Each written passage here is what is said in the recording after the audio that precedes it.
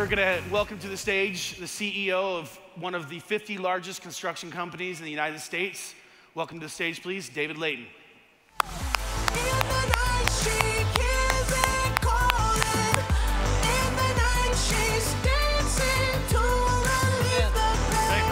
Good to see you. Uh, you throw a nice party, Josh. Yeah, we're throwing a little party, you know. You do it right. Look at these chairs. I mean, I'm a Dave, folding uh, chair, metal chair guy. These are you, don't, you don't look like a construction guy. I'm the construction guy. I've never sat in a chair like this. This is is this tech? Like, I like tech. Tech's fun, bro. This is good. Yeah. You, I was last time I was talking to you, you were saying, uh, give give us your your your pitch about tech and disrupting. Well, I, you know, as a contractor, we are a middleman, right? And technology's been really hard on the middleman. And so I think a lot about, okay, what is going to disrupt my business? What's going to disrupt my industry? Because I've got my customer and I've got my subcontractors. We're the guys in the middle that have to put that all together. So I know we're vulnerable, but I still haven't figured out how we get disrupted. I think, uh, I think a lot about the experience because we're trying to provide a better experience with our customer than our industry is known for. And if anybody's built anything, you know that our industry is not really good at delivering customer uh, satisfaction. So we're trying to go beyond and do it better. Yeah, I lamented with Dave. He's like, "Have you ever built anything?" Yes. was it overcost? Yes. was Late. It, was it late? Yes. Did you know what was going on? Yeah, no clue. No clue. Tell us a little bit about your business and and uh, about your experience with Domo. So we're a, we're a construction firm working in uh, 23, 25 states around the country, primarily in the West. Well, actually, I'm going to interrupt you for one South. second. This is, the, I, I've, I've spoken to a lot of CEOs that use their product. I don't know if I've spoken to as many that are as adept as Dave is. So you gotta, are you gonna do the, Yeah, we'll the show little you. show for us? We'll show you a little. Because you're talking about what where you're do. at, and I, I've seen that you showed me the. Yeah, I can show you that. Um, this is this is great stuff. You got to get the mirroring turned on. There we go. Okay, you're up. All right, so You're live.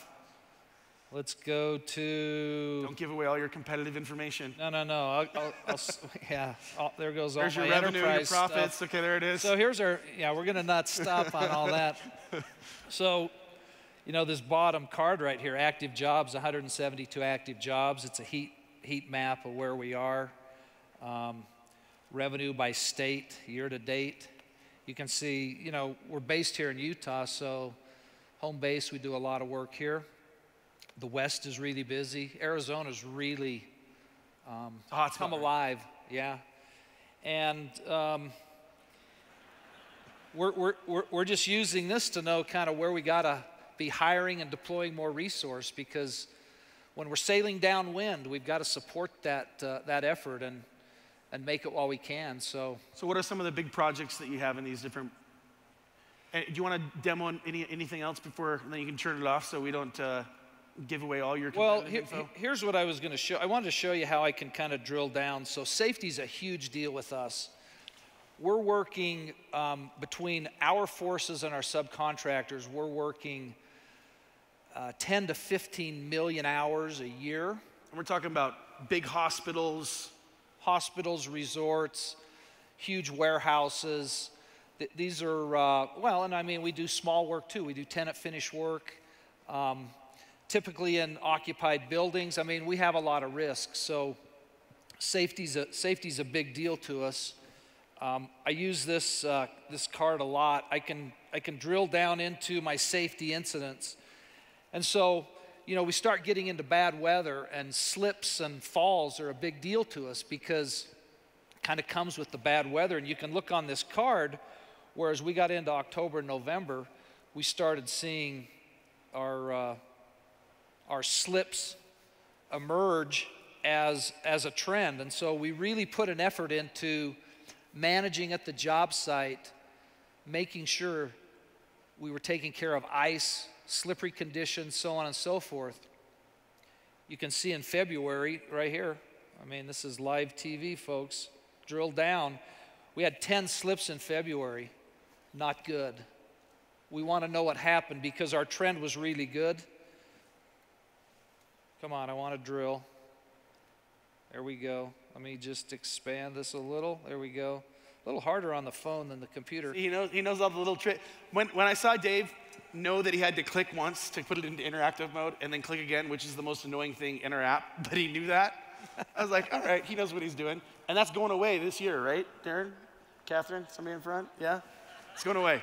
So, so I can drill all the way down right here. I can see the date, I can see which business unit this occurred in, the project, and I can find out um, who was involved.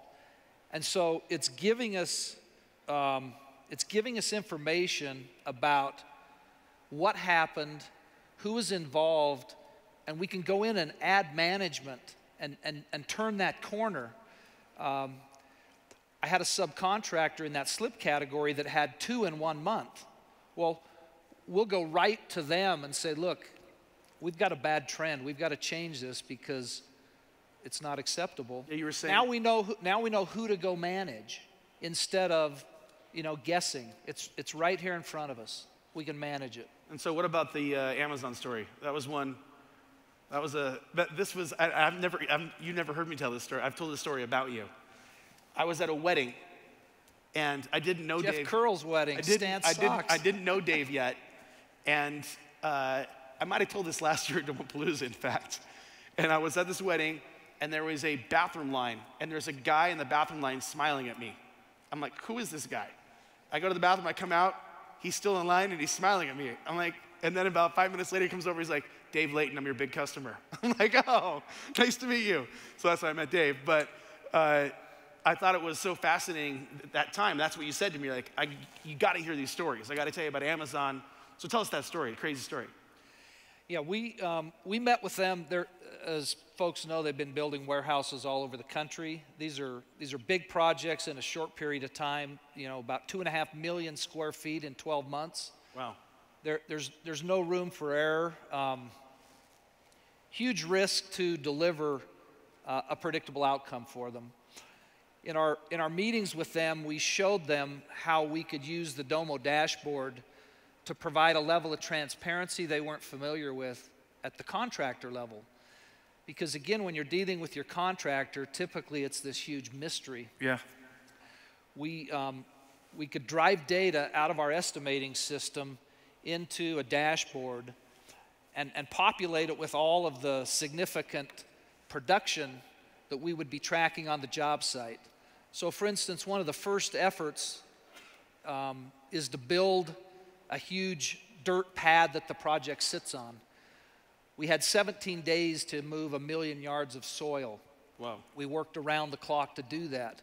And we could, we could track every truckload of soil that came to that job site, and so could our client. Then it moves into slab on grade, footings, foundations, pipe in the ground, wall panels, structural steel, roof. They could see all of it real time. And when we fell behind, obviously we get the alerts. We now know what we've got to do to go manage that production because we don't have a lot of chance to fall behind and catch back up. There's not slack in the schedule. So we jump on it immediately, we change that trend, and we get caught back up. And our client really appreciated the fact that they could see all this exactly when we were seeing it rather than find out days or even weeks later that we were way behind schedule and hadn't done anything about it. And that led to more. Led to more work with them, yeah. Led to more they, Amazon they loved, contracts. um, I mean, they're a, they're a tech company. They're very. I told Dave I have a recurring revenue business. He said, so do I. I get repeat business. Um, in our business, you've, you, you've got to deliver so that you can have that next, next opportunity to build. And then what about uh, the, um, there was a couple other things you, t- you mentioned. The, I think the biggest one was the, what was that, the unbilled, what'd you call them? Oh, our underbillings. Underbillings, there it is, yeah. Yeah, so the, the way our industry works is um, we'll work for a month, we'll collect all of that uh, cost data, and then we'll submit it to our client who then has another month to review it and, and make a payment. So we're 60 days right there to the last dollar. And um, this, is a, this is a part of our business we really have to manage because these are huge bills. And in many cases, between our firm and our subcontractors, that's already cash that's gone out the door to pay our labor, pay, pay our suppliers. So if we're not managing that, that payment process, our cash flow's upside down. So historically, we had an issue of whether or not our billing internally to our personnel, This our project team. Natural to the whole construction industry, right? Exactly, yeah. Everybody goes through this every month. Um, our issue was monthly getting those bills in on time, making sure they were complete so that the client had their 30 days to review it. Well, without Domo, there were a lot of places you could hide in our systems. And often we ended up with a dilemma of whether or not the bill had been submitted accurately or not.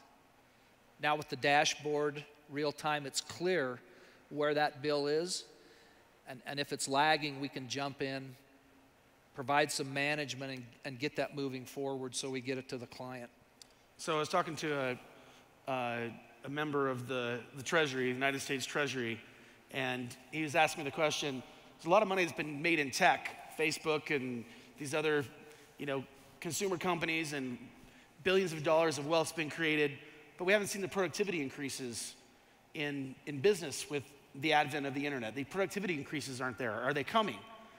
And it's conversations like this where I'm like, yes, Yeah. they're coming in a very meaningful way. But I, I, thought was really fascinating uh, yesterday when you were telling me about your approach when you guys are pulling up to a job site. You know, these are half billion dollar job sites, and now you know where to go. Tell me a little bit about the way that's changed how you run your business and manage your business. Well, yeah, 20, 30 years ago, you'd go to the job site and you'd have to use your experience, your eyes, your ears, your senses to try to get a, a- an image of what was going on on the project. Now we've got a dashboard populated with the key metrics, and, and we can just pull that up whether we're headed to a job site or traveling, we can stay in touch. When we get to that job site, we know where we need to spend our time and we also know what's going well. And we can, we can identify individuals on our project team and say, attaboy, good job. You know, you're, you're, you're under budget, you're ahead of schedule. Yeah, you said whether you're it's like the right things. moving dirt or number of pallets of bricks that have come have been installed. Yeah. And you, I get one story was you got pissed off at a mason and then found out he was using bigger bricks. So you're, he was actually he was actually on track, but it forced the conversation. It did. He was, it, it looked like he was falling behind because we were tracking uh, numbers of units, but they were bigger. They were bigger units, so we were knocking out more square footage than, than we thought. So you said it cleared it up. is, ar- architects as well. That was a fascinating one about answering questions, how quickly they answer questions. Yeah, so on our projects, there, there is a, just a tremendous amount of data that has to get processed by all the participants in the project. So you've got the design professionals that are creating the plans, the specifications, and then we get into a, a, stage of the project which is called submittals, where we take all of that and we actually submit specific product data that they review and approve or reject. And then that's finally what we end up installing. Um, if we don't get those approvals timely, then we can't go back to our vendors and order and get it shipped and get it ready to be installed. Yeah. So historically, we've, we've struggled with getting reviews and approvals. Well, guess what? Now we have a dashboard that's really clear. You said this data is lo- was locked in another system. What's it called? C- CMIC. CMIC, which everyone in construction uses. All the data is locked in there, but now by pulling it into Domo, It- it's on a spreadsheet. Um, it's hard to find. and then you say the, You can go looking for you it. called the you called the guy to the mat, right? Said no, we're, we're answering all the questions. Uh, no, you're not actually. Here's how fast you're answering them all. The, the, uh, in the particular example, we just had design professionals that were overwhelmed. They were falling behind in their review and approvals, which ultimately is going to lead to a delay in the schedule. And so we could, we could get together, have a meeting, show our clients, show them, and ultimately they just had to commit more resource to look through that. But, but we prevented what would have inevitably been a delay on the construction site because we just didn't get those approvals soon enough to get ordered and get those materials delivered. So, last question here before we wrap up. Um, I thought your, your vision for the future was really fascinating. I think you should share that. You're, you're clearly a par- only the paranoid survive, uh, but clearly paranoid and thinking about how technology can help make sure that you're not some middleman, you're providing a service that they can't get elsewhere. But your comment about drones and what that may, how the future may end up uh, unveiling here. Well, again, for us, it's um, if, if we're tracking productivity, it's all about how do we collect the data that that demonstrates what we got done in a certain day.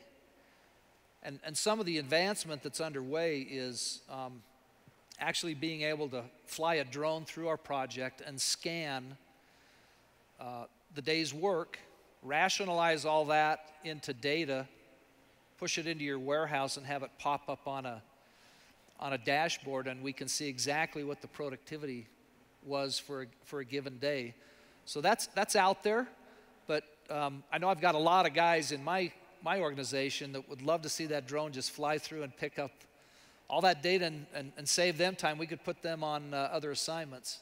It's awesome. Yeah. Well, really appreciate you. I know you had to move a couple of things, but really appreciate you being here. Glad to be here. Thanks. Let's give it up for Thanks Dave for Layton. what you're doing. Really appreciate it. Thank you so much.